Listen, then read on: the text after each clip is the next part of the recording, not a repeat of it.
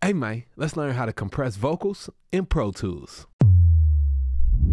What's up, YouTube? Welcome back to the channel. I'm Wavy Wayne from WavyWayne.com. This channel is all about helping you to record and mix better and faster. Today, we're going to be jumping inside of Pro Tools to actually take a look at how to compress vocals using the stock Pro Tools compressor. Before we get into it, let's talk a little bit about what compression is, all right? When we get an audio signal, the signal will be pretty dynamic sometimes, right? Dynamic simply means the span between the loudest sound and the quietest sound in that signal. Now, the problem with a signal that's too dynamic is that if I set my volume fader to work perfectly for the loudest parts of the signal, well, then the quieter parts of the signal might be too quiet in that mix. On the other side of that, if I set my volume fader to work for the quieter parts in the, in the signal, then the louder parts in that signal might be too loud at some parts. So we want to use a compressor to actually restrict the dynamic range. And what it's going to do is turn down those louder parts, which will allow us to turn up the overall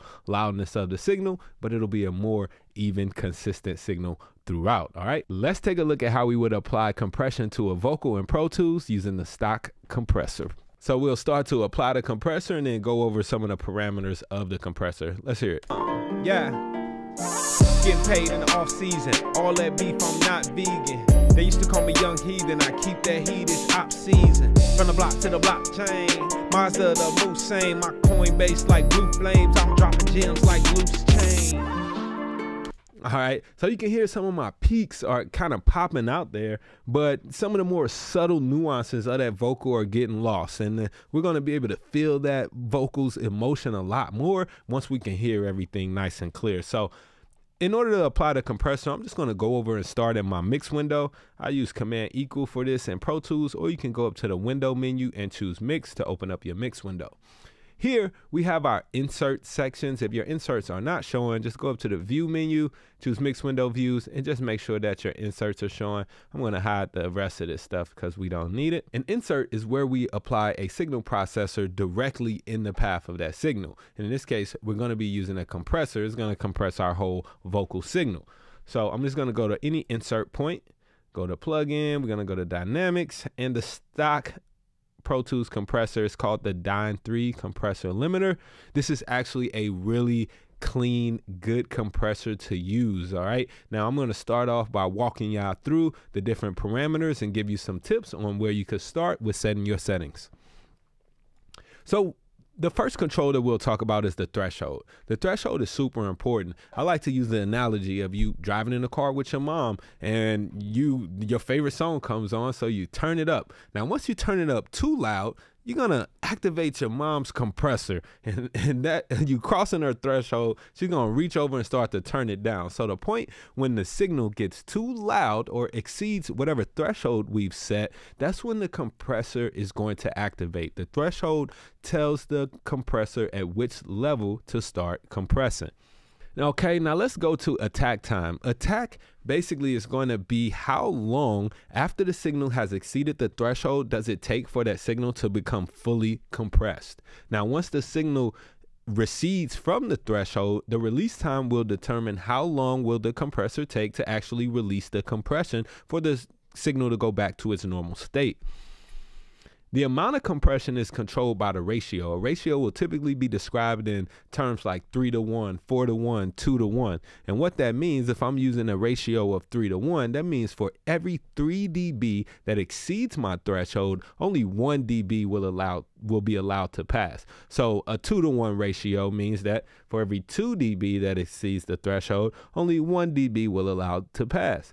That's pretty light compression. If I turn it up to like let's say 100 to 1, that means that every 100 dB that exceeds my threshold, only 1 dB will be allowed to pass. And that's really, really squashing that, man. I love that this compressor gives you that option, though, to get a ratio all the way up, up to 101. That's really like brick wall limiting. That's saying, hey, you ain't going nowhere. all right. So the other control here that we're going to talk about is going to be the knee. The knee simply refers to how smooth the transition is going to be from the compressed from the uncompressed state to the compressed state. If you have a high knee, that would be a very gradual transition from being uncompressed to compressed. Where if you have a shorter knee, a more acute knee here, it's going to be a quicker, more abrupt transition from uncompressed into compressed. Now, for working on a vocal, I like to be somewhere in the middle range there to where I have a nice smooth knee, not too soft, not too hard of a knee, okay?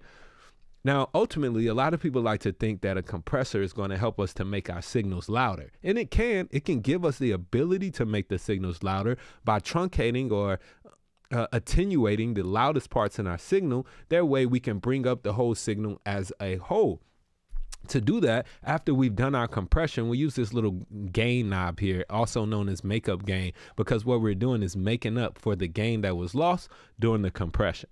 One of the first parts that i'll start at while compressing is actually working with my threshold. I'll also set my ratio before i even get started even though i might fiddle with this. Typically when i'm compressing a vocal i like to be somewhere in between three to six to one of a ratio. So starting off at about, you know, uh, four to one or something is going to be good starting place for this compression on the vocal. And if I need to take it up a little more, then I can. Let's start to play with it though and listen. I'm going to go ahead and mute the beat and just focus on this vocal. Um, yeah. Getting paid in the off season. All that beat getting paid in the off season. All that beef, I'm not vegan.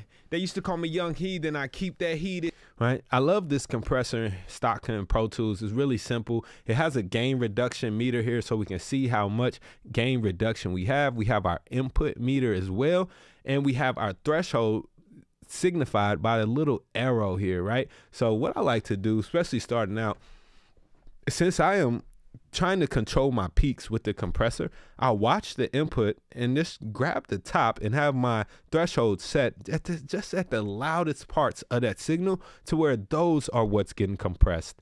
Getting paid in the off season, all that beef, I'm not vegan. They used to call me young heathen, I keep that heat, it's op season. And that seems like a great spot for that threshold. I might even lower it a little bit more, but that's a great spot to start. Getting paid in the off season, all that beef, I'm not vegan. They used to call me young heathen, I keep that heat, it's op season. Now, what you will notice though is that my gain reduction really isn't kicking in. That's because my attack time is not fast enough in this case. I'm gonna go ahead and bring my attack time to be a little bit faster to catch those peaks as they're crossing over the threshold. Getting paid in the off season, all that beef, I'm not vegan. They used to call me young heathen, I keep that heat, it's op season. From the block to the blockchain, Mazda the moose same, my Coinbase like blue flames, I'm dropping gems like loose change. And you always want to play with the release time too, just to find a nice, comfortable feeling to where the compressor has time to recover before the next transient, but also is helping to bring up any uh, nuances in that vocal signal. Getting paid in the off season, all that beef, I'm not vegan. They used to call me young heathen, I keep that heat, it's op season. From the block to the blockchain, Mazda the moose same, my Coinbase like blue flames, I'm dropping gems like loose change. I like it. I like it a lot. All right, so now I'm to actually analyze this as I'm playing it just to see how much gain reduction I'm getting. Let's take a look. Getting paid in the off season. All that beef, I'm not vegan.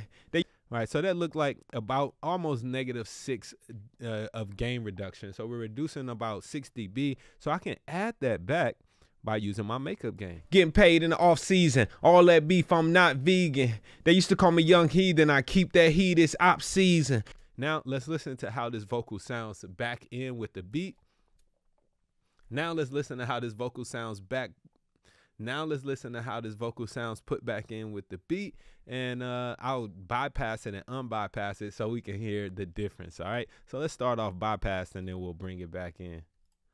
Getting paid in the off season. All that beef, I'm not vegan. They used to call me young heathen. I keep that heat, it's op season. From the block to the blockchain. Mazda the moose same. My Coinbase like blue flames. I'm dropping gems like loose chain.